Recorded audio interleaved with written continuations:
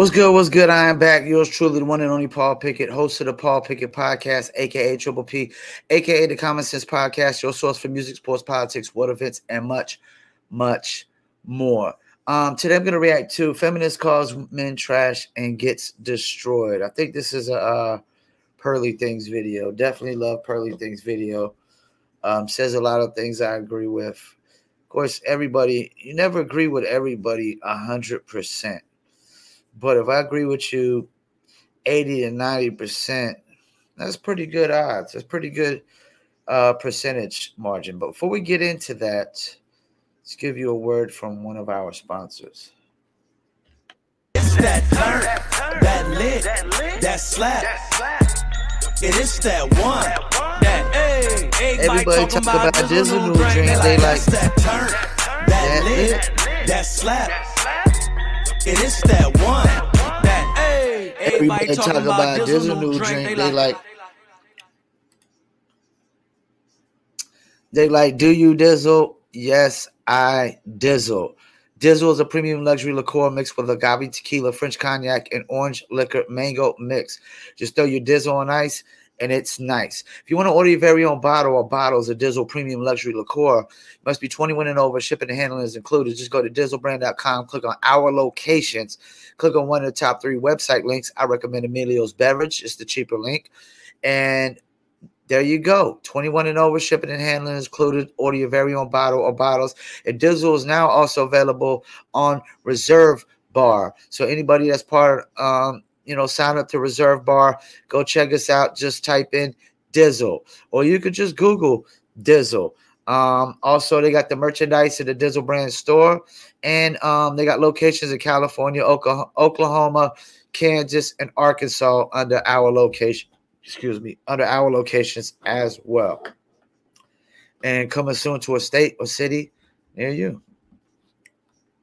So let let's hear this men of trash and gets destroyed.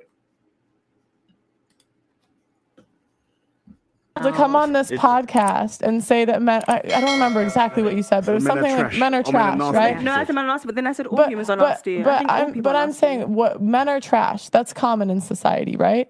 Women are trash isn't. Men are held accountable all the time, every Yep. day. But so are women. always- women are held at No, a they're higher not. standard. No, we're at a low. We offer less Yeah, to men than standard, but ever. We, the average age of first men men value purity and youth. Yeah. Purity, youth, beauty.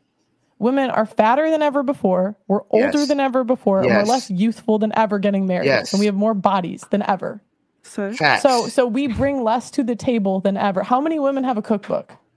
Of, of Zero. just recipes that they made themselves. How many women have that that you know?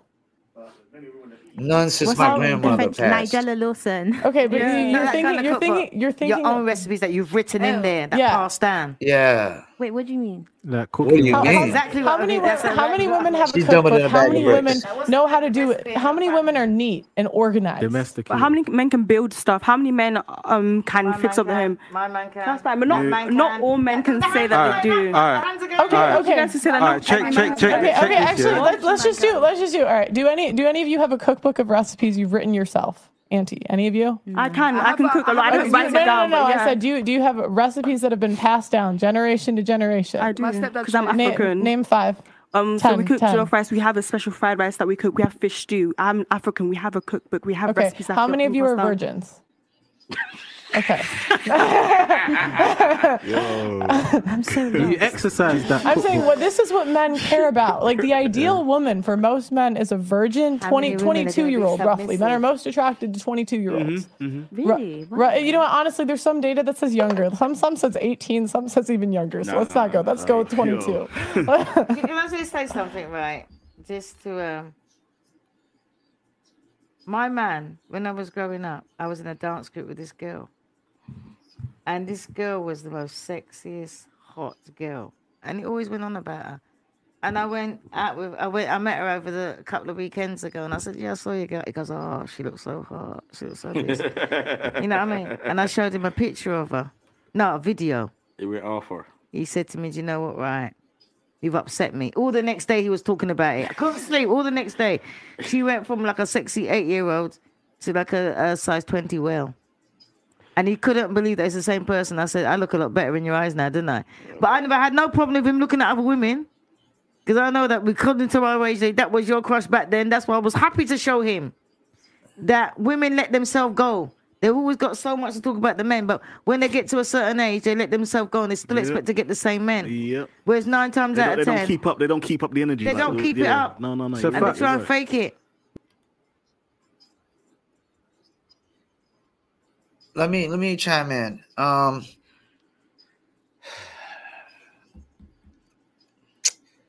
there's a lot of double standards going on. Women expect men to be faithful all the time, but women are horned more than ever. Um, I could tell you right now, my grandma had a cookbook, my mom doesn't. So my grandma's generation might have been the last generation of women with cookbooks. And this chick that implies I'm African, we have a cookbook. She didn't ask you, do do uh is there like recipes that most Africans make? She asked you, do you have a cookbook of your own fucking recipes that you fucking made up? And then when you ask one of the chicks what that shit is, she's like, What is that? I mean, they're dumber than ever, they're fatter than ever, they're like she said, they got more bodies than ever. They don't got cookbooks. Um, they're less of housewife material. If you ain't got a cookbook, you sure as hell are not a housewife. You're not housewife material if you don't got a cookbook. Uh, let's keep it moving. And no, and let me go back to something she said about men don't be building shit no more. Um, I don't know if y'all seen the video where they showed um like it's like a survivor kind of video. You got a group of females on one side of the island and a group of men on the other side. The the, the women are literally still arguing over who's gonna be the boss. And the men have literally built fucking mansions and shit and fucking shelter and everything on the other side. Cause we can work together a lot better than women, first of all. We can work together. Men can just say, hey, this is your role, this is your role, this is your role, this is your role. And we can accept that. With women, somebody always has to be the boss. Let's keep it moving. when we was all in school, there wasn't 18, 19, 20 year old women pulling up in cars Oh, to pick up Facts. the year 11 or the year Facts. 10. No, There was 18, 19 year old men pulling Picking up up in schoolgirls. cars to pick up the High hottest school year girls. 10, year Facts. 11 girl. Yep. That, that, that, so it just goes to show women, I was- 100%, they peak earlier. And then how many times have you seen, like, for the men, yeah, like mm. within They your mad as hell over groups there, whatnot, having to there listen was to that that. girl Look at their that faces. for certain man wasn't attainable in school. Yeah, she was like I said, the 18, 19 year old was picking up Yeah. or the or the baddest you in mm. school But in the nah. year. 11. Every But high school is like fast that. forward, you meet you buck her down the line like Yeah, at, man. at 24, 25. wanna. All of a sudden, she's following you and But she- she's she's showing interest. She's But saying, she's popped "Rah." down, yeah. At- at- yeah, and she might not be Well, totally because popped down. because she's lost the things men value now. Yeah, because she's, she's probably So older, she- she's probably peak- fatter, and she's probably slept with more Yeah, dudes. so she's she's less, peak. she's she's less on the valuable decline. to men. Yeah, Yeah. and and you've caught up because you've gained more value. Yeah, and but that's we're so brainwashed that we literally think like women, we literally think we're the prize when we offer less than Nah, ever. it's not those. But what's the whole thing with fatter? Like you've said fatter a few times. Like what? What? 'Cause what's- what Men men don't- want men don't like fat men want. women. That's not true. Not Huh? in general. Why, not then why does every rich man have a Victoria's Secret model or someone that Exactly. looks like one? But they Exactly. still cheat. But they Wait. still cheat. And generally, Yeah, but- Victoria's but- but Secret not with cheating fat side women. piece, But, and but then their no, wives are no, the bigger no, guys, women. guys, cheating isn't winning. The winning is the girl Yeah. that gets the ring and the girl that gets the deed. It's they- not winning. Just because just because you got a dude to sleep with you, guys will sleep with a hole in the No, wall. That's, that's that's not a that's not a prize. But That's why- not why- good. why- That's That's what fair. I'm saying. Every-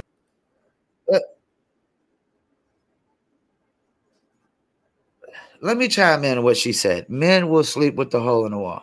See, this is this is what y'all fail to realize. Y'all not living in reality, women. Women, the ugliest woman can go to the bar. And if her goal is to get laid for the night, there's a hundred percent chance she's gonna get laid. Women always have more options. and that's why they cheat more because they have more options to cheat. The men that are cheating heavily are just the small few that have a shit ton of options that every man doesn't have. If I take an average Joe Schmo off of the street, like, yo, your goal is to go to the bar tonight and get laid.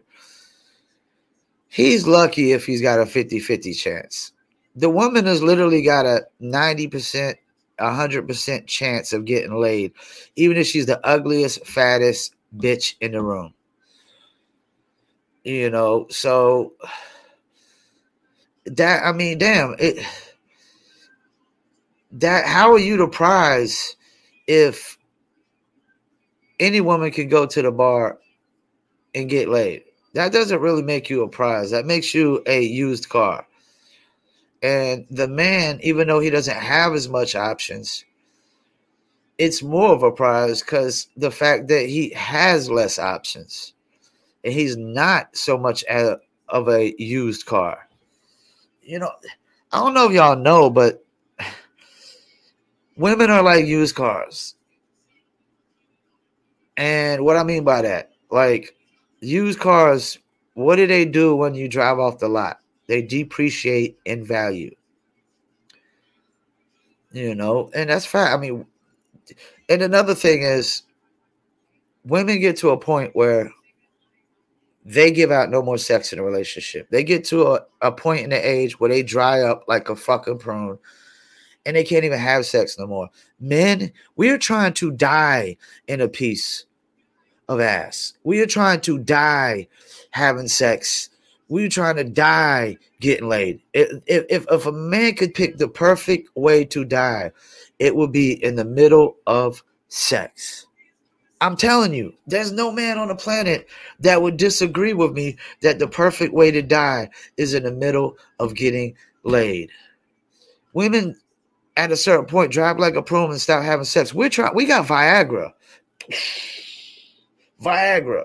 We're trying to do this shit to the day we die. We're trying to procreate and have sex, sexual intercourse to the day we die. That is part of our responsibility and our job as males on this earth. Let's keep it moving though.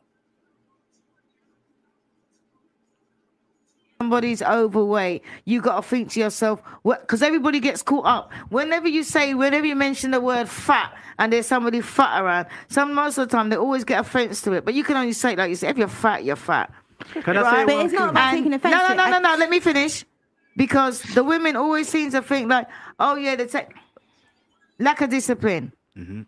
That's what the men are seeing. They're not seeing, oh yeah, you got a bit of what They're thinking, well, hang on a minute, she can't control her eating because she control money.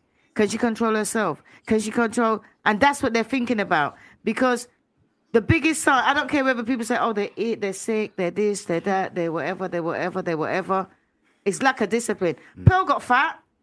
I see Pearl going out there and doing the gym and you know having her talk today about more, pro- not, more protein, less carbs, and all that. So as far as I'm concerned, she's trying to do it something about it. It ain't sexy. she got cut back on all them cupcakes, but she's she's gonna he's gonna make her suffer for it. He's gonna I'm, cupcakes I'm, too. he's gonna make her suffer for it.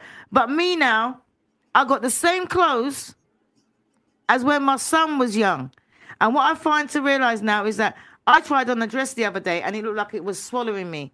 I'm a size eight. The dress is a size eight. And what I realize now is that when I'm seeing these fat people say, "Oh yeah, I'm a size 10," I'm thinking you can't be a size 10. You know why? Because the people that are making the clothes are making the size 10 bigger. So me now, I can go in certain places and I have to buy a size four or a size six. I'm not a size four and a size six. I'm a size eight to ten. I'm sorry, Auntie, to say that's what you are now. You know what I mean? but if that's the case, then you got the people there that normally 14 and 16 that now saying they're size 12. But that's what men, women always say. Oh, they're always saying that we're fat. You know what? Because the men see it as a lack of discipline. The men see it, it as like you cannot be cooking good home cooked food and being that size. Well, I feel like it's a thing still. And, I oh, feel What do you not lack agree of- with? I feel don't like it's agree a lack. what, with what Auntie's saying at all because I feel like there are men out there that okay, there are men out there that don't care about the size, and there are men out there that specifically go for bigger girls. There are men out there that even are feeders. No. They purposely Okay, feed okay, women. is in that- is that- okay, women. okay, So How to many? say okay, men don't like fat women, I get it. Obviously, being fat is not is in society is not deemed as being attractive. But however, I don't think it's fair to say What what percent of guys?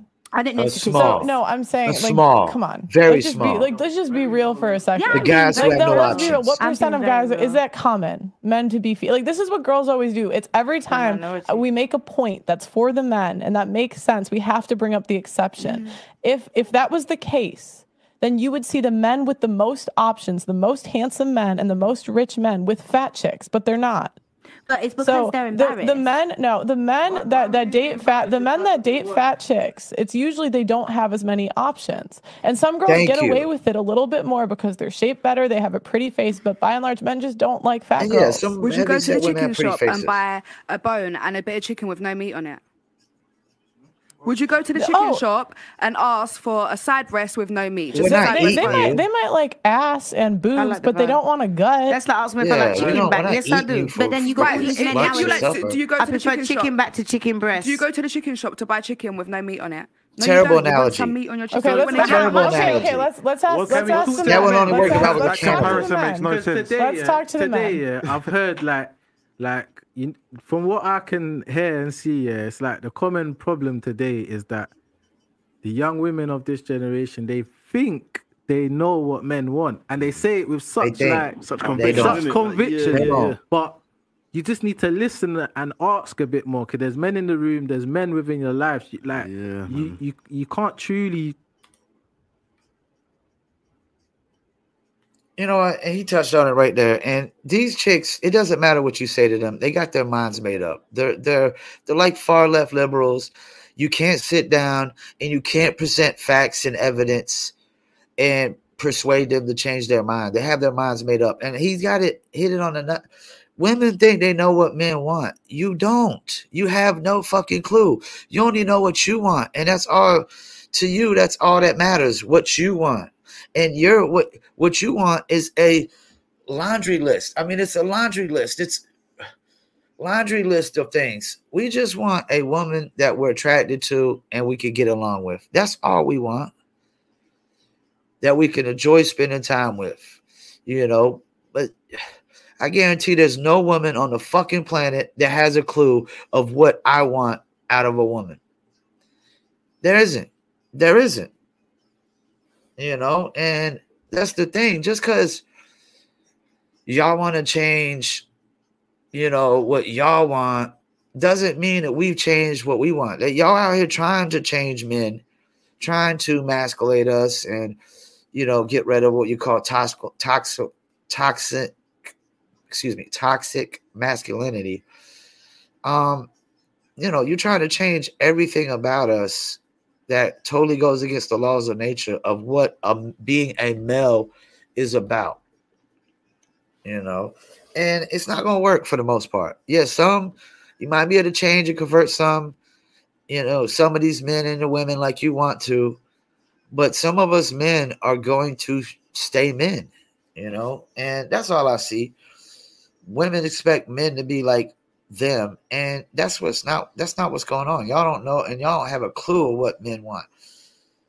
Because y'all think y'all be thinking that traditional men want modern women.